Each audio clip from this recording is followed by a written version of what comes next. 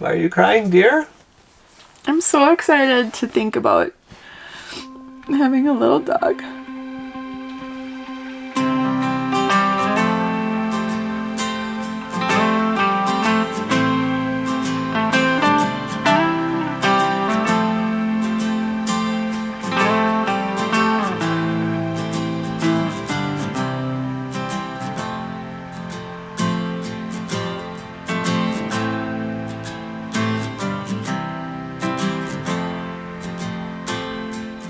Don't know how to start this video off any other way but to say we're driving 600 miles to go pick up our new puppy.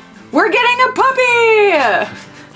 It's been long overdue. We've talked about getting a dog now that we upgraded from living in a small 22 foot van to a larger 26 foot travel trailer. But we're the kind of people that kind of overplan sometimes and overthink about things and we never just go and do it. We are not impulsive. No, unfortunately not. Sometimes that's We're good. spontaneous. Sometimes it's But bad. we're not impulsive. So part of the reason why we actually waited so long is because we didn't actually know what kind of dog to get and we can't just go to a shelter and pick up one because we don't know how Chris is going to react to it. So that led us to the list of hypoallergenic dogs. Growing up, I had a miniature schnauzer and I loved that little miniature schnauzer. Aaron wasn't on the same page as that, so it was really like, well, I like this one, what about that one? And we had a hard time uh, just like really agreeing on which ones we really wanted. It's hard to find one that fits your exact lifestyle. I mean, we don't have a whole ton of space. We're very active. We need one that likes to run and hike and walk and is very energetic, but at the same time, we don't want one that's so crazy that it's hard to handle. We don't want it too big, we don't want it too little. So we ended up deciding to get a Basenji. And it's kind of not a super popular dog, but it is hypoallergenic. It has very cat-like features where it licks itself clean. It's stubborn. very short hair, doesn't shed, doesn't have a lot of dander, and it's uh, supposedly a really clean dog. And they have a lot of energy and stamina, so they can keep up with our fitness level. We can take it out a lot. It's a good size for in here, um, like a 20 pound maximum. 24 I think is the maximum but yeah pretty pretty close to that 20 24 pounds and so that leads us on this impulsive two-day trip to Tucson Arizona leaving from uh, the California Alabama Hills area and we're heading down to pick up our new puppy this weekend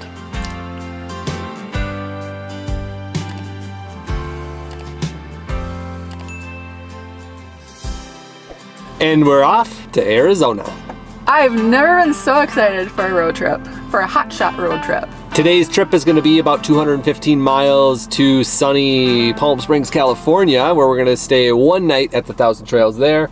And then we're going to get up early for the long day, which is what, 400 miles? Yep. All the way to Tucson.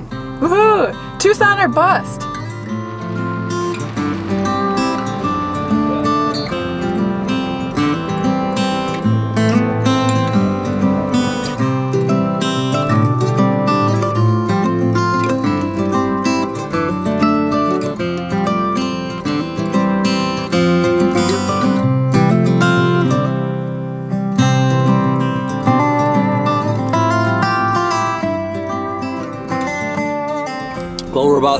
miles from the RV park, home sweet home. We've been to this place many, many times, this Thousand Trails here in Palm Desert.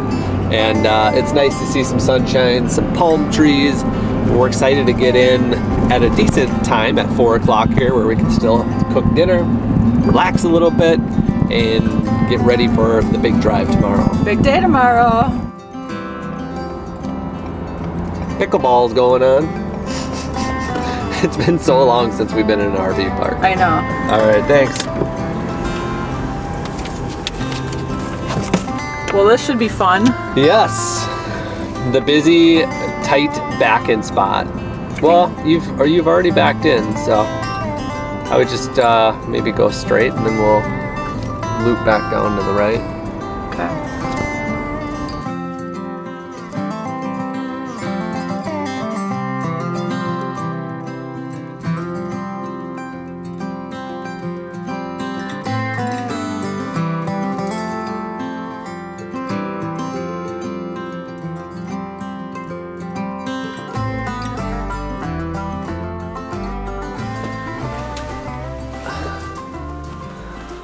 Good morning and happy Friday, the day before we pick up our little dog. And we slept last night like we have a puppy coming. We were like two little kids on Christmas Eve, waking up in the middle of the night and just excited. It was tough though. My mind was racing on uh, the eight hours of Amazon shopping I did yesterday. I think I picked up almost everything we could.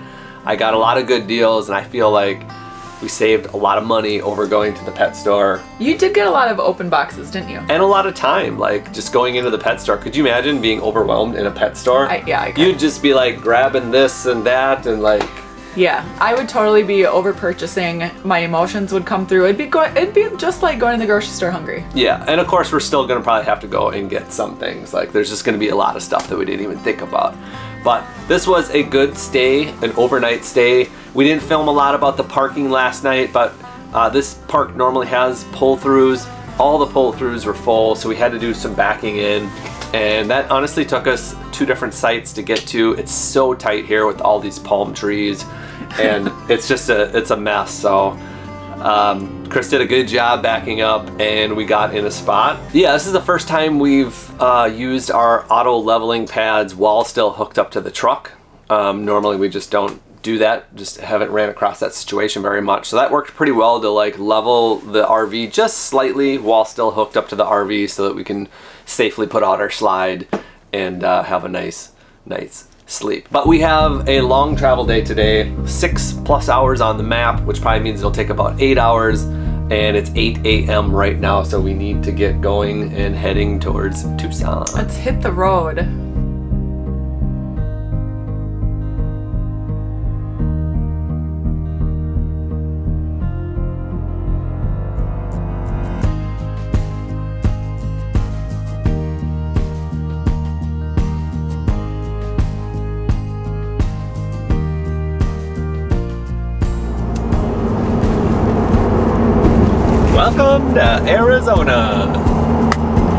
Is our final destination state. We just have to drive across it now.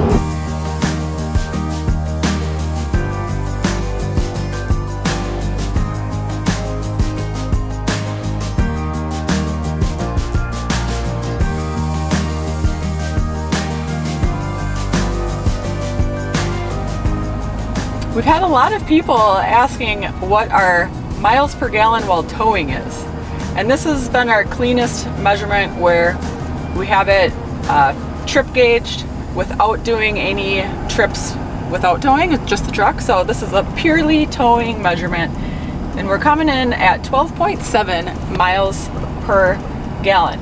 And this trip is from California to Arizona. So there's not a ton of crazy mountain inclines and things like that that would lower it. Um, so it's been pretty steady at that 12.5 to 13 max. We've never really seen it get any higher than that.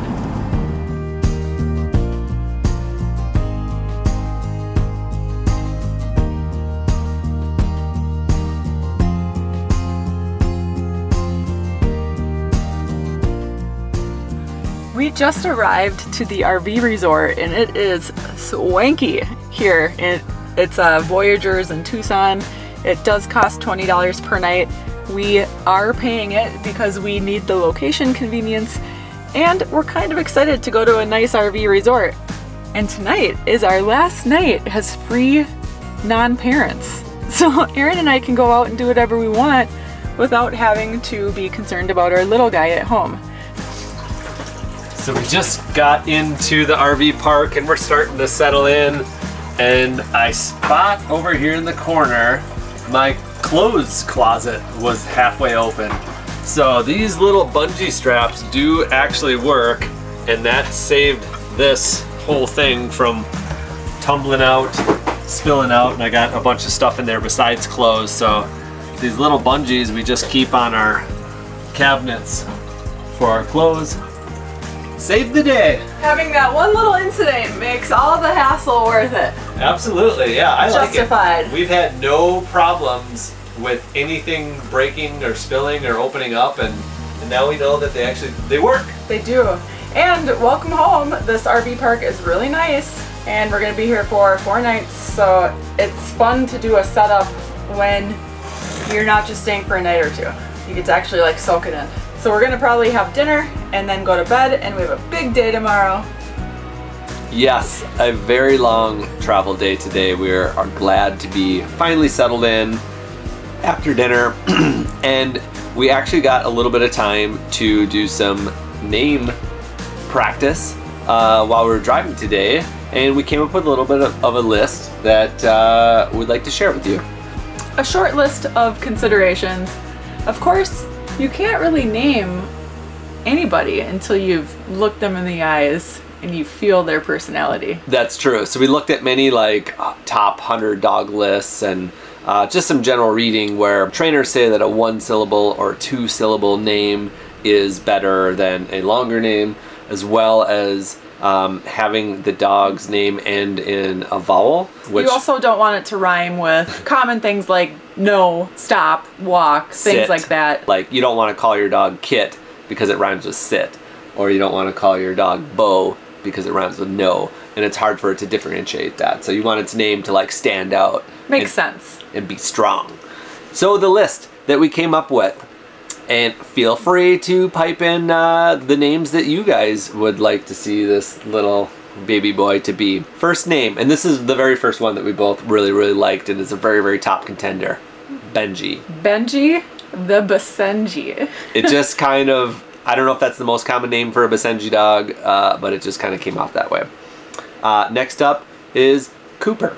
Cooper, nice and solid. What I like about Cooper is it reminds me of Copper. Which Copper was one of the names that we thought about. We should be getting a red colored Basenji, which kind of is copperish. Next up, Louis. Louis is my grandfather's name. He passed away, and I think about him every day. I could see this being a very, very top contender because our business is named Irene after your grandma, who is Louis' uh, wife. And so Irene and Louis, um, I could see that happening. It just makes my heart flutter. But we don't know yet. Next up would be Remy. Remy. Remy is masculine and flirty at the same time. And quick, and it fits a small little dog, and it's quick and easy to say Remy. It's fun. It's fun. So you got to think about a puppy name and also like a 15 year old name. You know, like you want this name to really last the duration of your pup. Like Buttercup. okay, and the very last name is Carter. Carter. Carter is another one. It's a little bit fun, it's a little bit serious, it's strong, but it's a good contender. Yeah. So, that's going to be it. We're going to sleep on these names tonight. We're going to see our little guy in the morning, and we'll see you too.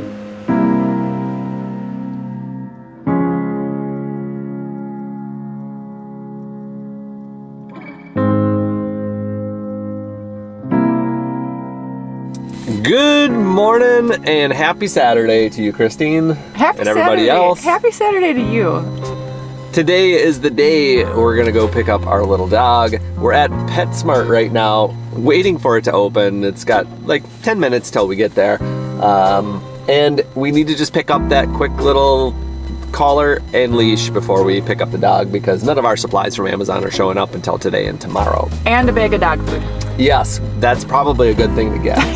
Don't forget about food for we the do new wanna, baby. We do want to feed it on our first day. Yes.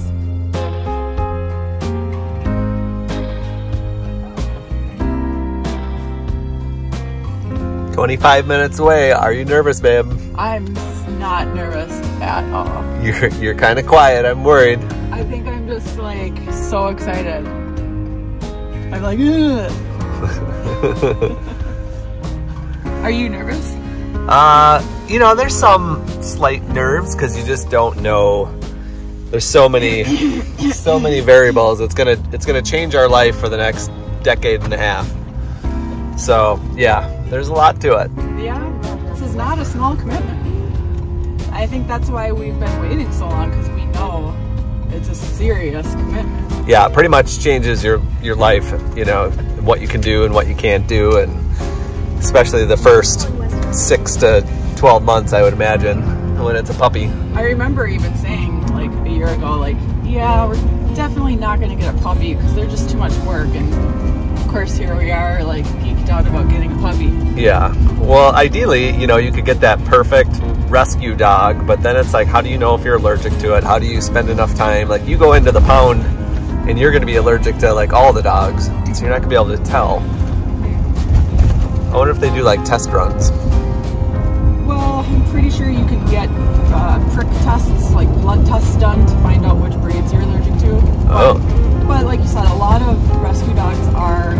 Mixes. mixes, and you Yeah. don't really know what they are. Yeah, that's true. So that makes it harder. Um, some you would be able to spend a night with, like depending on where you're getting it from, but there's also restrictions for RVers on who's going to give RVers dogs, who's not, because we don't have a fenced-in yard. So there's all sorts of challenges that are unique to everybody's situation. Yeah, that's true. This is it. We're two minutes away. Are you ready? Yeah, my heart is beating really fast and my palms are starting to get sweaty.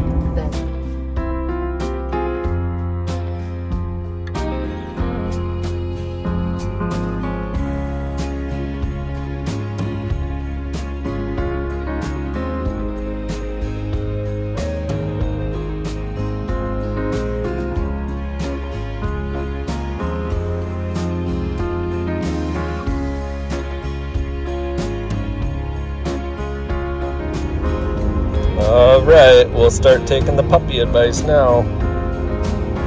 So cute, buddy.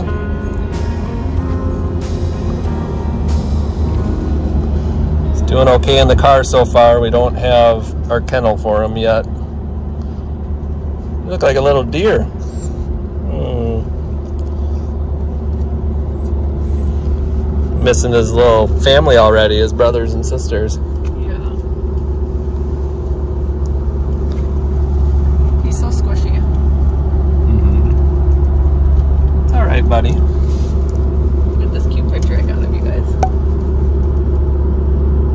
That's a good one. Get ready, because we're gonna be blasting all of our friends and family when we get home. This is what it's like when you have a child. You start sending pictures to everybody. I already have a puppy album with a hundred pictures in it. That's great.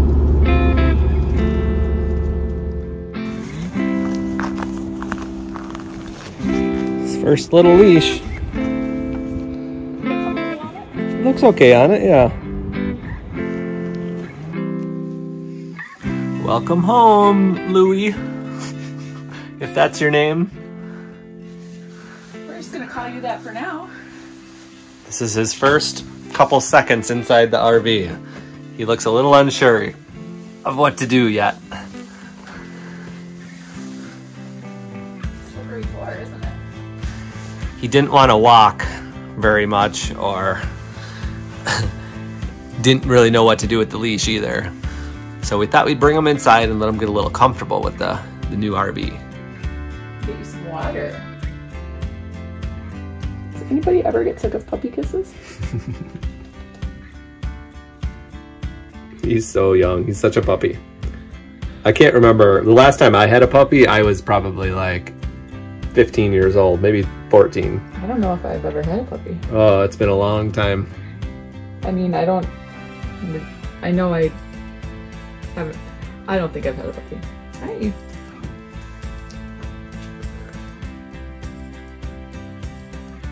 Its tail's already curly, isn't it? Yeah. What are you scratching Uh-oh. Oh, he just piddled. Yeah. Gonna take him outside right away. Grab him.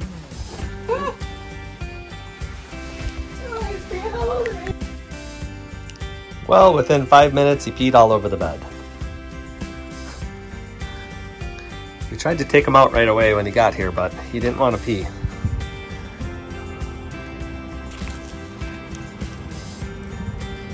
I know you don't like that thing. What is that prison strap you're wearing? Day one with the leash. He doesn't like it very I don't much. like it. It's kind of a little bit too big for him, too. That hook is kind of heavy. Yeah. Poor selection at Petco. Yeah, they're sold out of all the small ones. Yeah. It's too bad we have so much fun puppy stuff for you locked up in the mailroom. First restaurant experience for little Louie. He's dining. Nice patio. Cloud nine right now.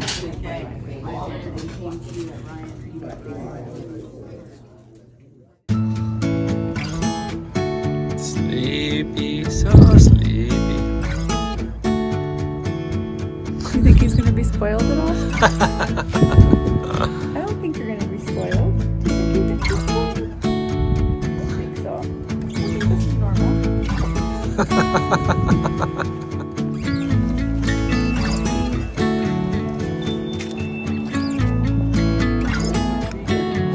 That's his Petrie too.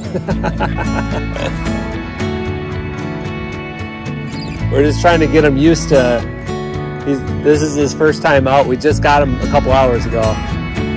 So he's 10 weeks old and he doesn't know what to do yet. He doesn't know what a petri is.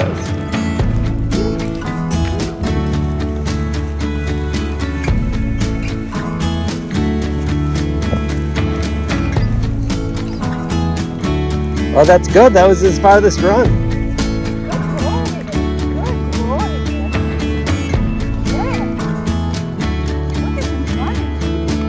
Good run. That was his first run right there. Did you see that? Okay, you wanna go back? Good run. Imagine what you'll be like on the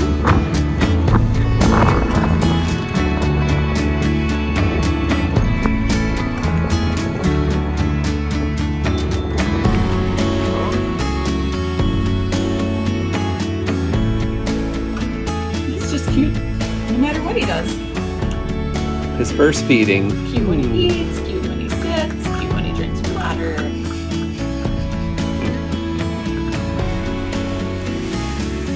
How you doing, buddy? This is new to him. Come here, Louie. Come here, Louie. So it's been an interesting afternoon so far. He's peed in here twice, and we've only had him in here for about three minutes total. the rest of the time, we've sat outside or been at the patio at the restaurant. He's slept a ton.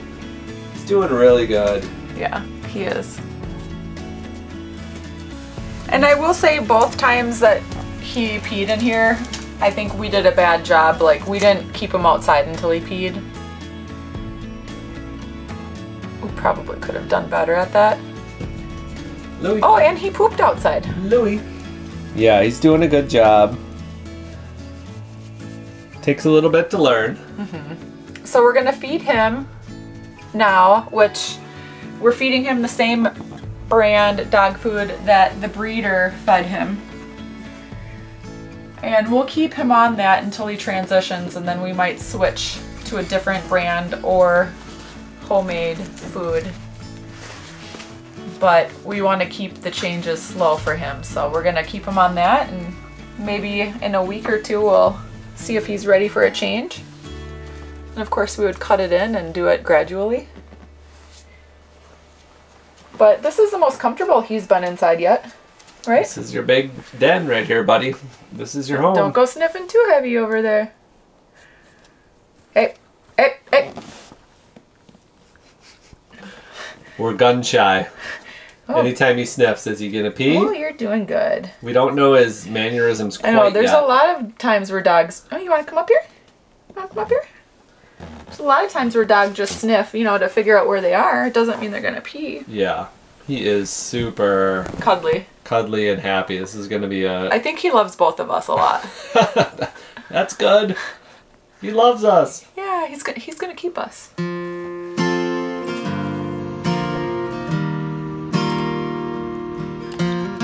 Get used to that, huh?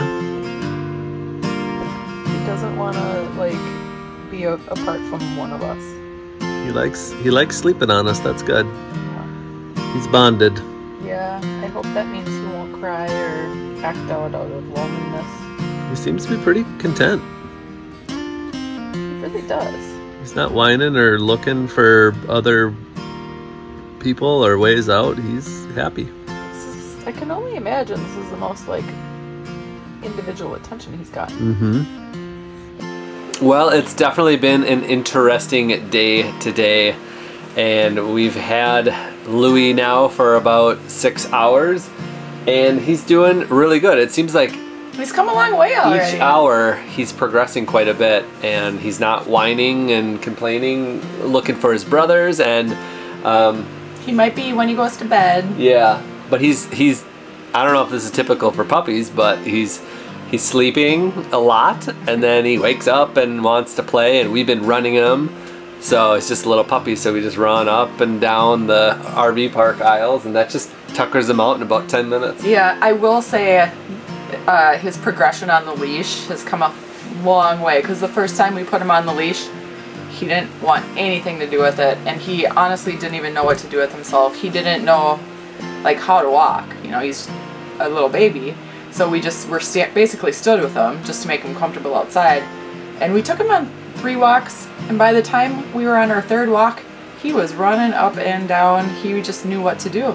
Yeah, and the leash I got has kind of a heavy buckle on it, a clip, so Like like too it, big for him. yeah, it hangs on his neck and it's just a little heavy. So again, we don't have the right puppy stuff right now, but But we'll get it. we'll improve. It's literally in the office. right, it, we have it, we just don't have it. But yeah, he's uh he's super comfortable with both of us, which is great. I think he really likes both of us. And he just needs to get more familiar with inside the RV. He's not potty trained yet, so that's going to be our next big step is getting him potty trained. and the kennel and the crate crate and Yeah. yeah. we don't have his bed we don't have his toys we don't have uh, leash and anything so All we have is a collar, a leash, and his food. So we're, I mean, we have the basics. He has a lot of love. Mm-hmm. And then we just need all the extra stuff to come with it.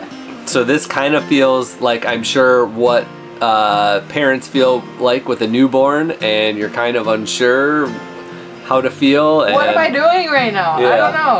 it's uh it's an unusual feeling for us But he Um, looks happy. yeah we've always been so independent and free and we can just do whatever whenever and go wherever and and now we have uh, a big change Yeah. isn't that right So it'll be an interesting evening. Are we gonna get a lot of sleep or are we gonna get a little sleep? We don't know. Is he how many times is he gonna pee on us tonight in bed? I don't know.